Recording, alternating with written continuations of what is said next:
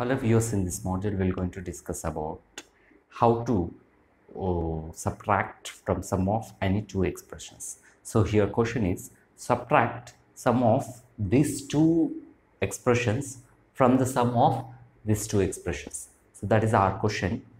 So here first so try to first we have to sum it then we have to separately sum it and we have to come for a um, subtraction so as i told first write.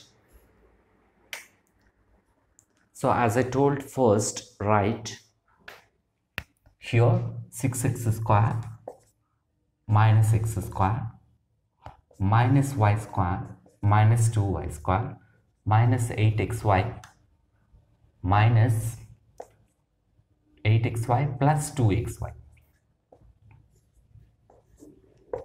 6x square minus x square will become 5x square minus y square minus 2y square will become minus 3y square minus 8xy plus 2xy will become minus 6xy.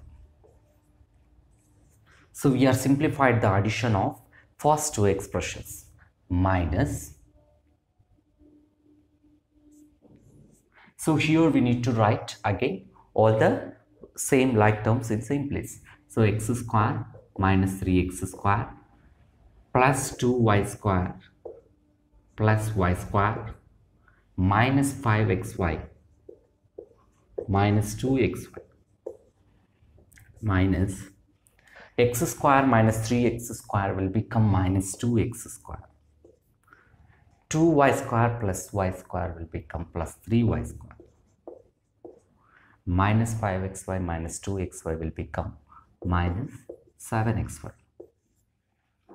Then 5x square minus 3y square minus 6xy minus into minus plus 2x square minus into plus minus minus 3y square minus into minus plus 7xy again this one will become again one expression we have to simplify.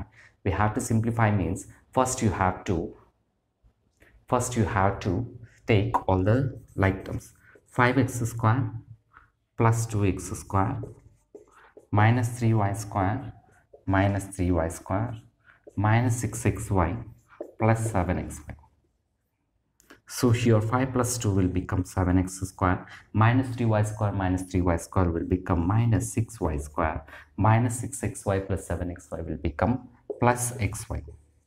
So we are simplifying. So finally we got answer as 7x square minus 6y square plus xy. So if you want more videos please you can watch uh, right here on YouTube and please subscribe.